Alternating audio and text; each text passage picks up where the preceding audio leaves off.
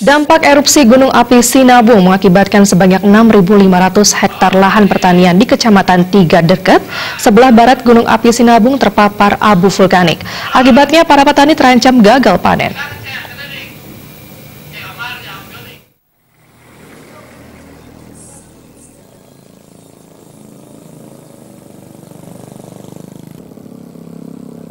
Inilah kondisi lahan pertanian milik warga di desa kecamatan Tiga Deket yang terletak di sebelah barat Gunung Api Sinabung.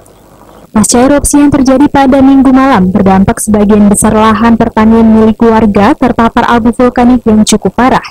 Tampak abu vulkanik ini menutupi sebagian besar tanaman milik warga yang ada. Dikhawatirkan para petani terancam gagal panen. Pasalnya, material abu vulkanik yang menyelimuti tanaman dapat mengakibatkan tanaman gosong dan rusak seperti lahan pertanian komoditas cabai dan tanaman bawang milik warga ini.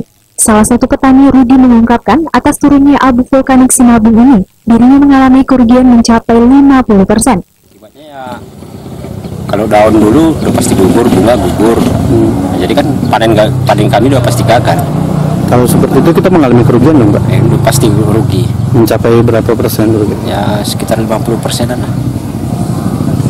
Pak, ini ada biasanya ada bantuan dari dinas uh, terkait dengan dampak abu seperti ini, Pak. Biasanya.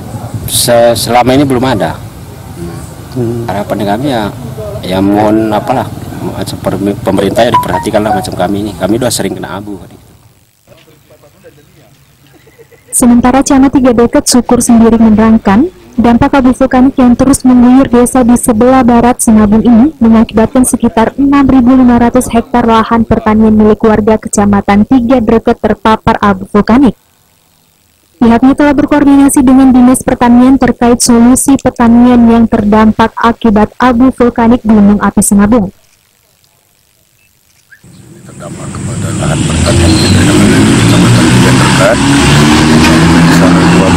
desa yang terdampak yang parah itu yang lima lagi memang terdampak tetapi tidak separah dengan di tempat kita. Jadi lebih kurang lahan pertanian warga lebih kurang 6.500 hektar terdampak abu vulkanik yang terjadi tadi malam yang mengakibatkan lahan pertanian warga khususnya tanaman muda ada yang rusak parah dan ada yang Sementara berstatus pada level 4 atau awas, warga dihimbau untuk menggunakan masker dan pelindung mata saat beraktivitas.